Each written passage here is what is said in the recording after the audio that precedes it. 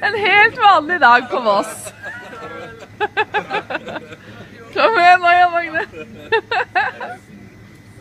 Nå må dere heie på han, da.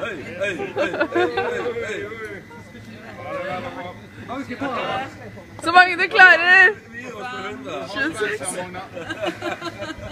Nå begynner jeg å telle. Én.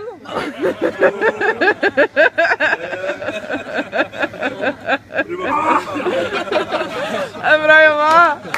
En applaus. Til og med kundene er imponert. Ikke sant det? For en butikksjef.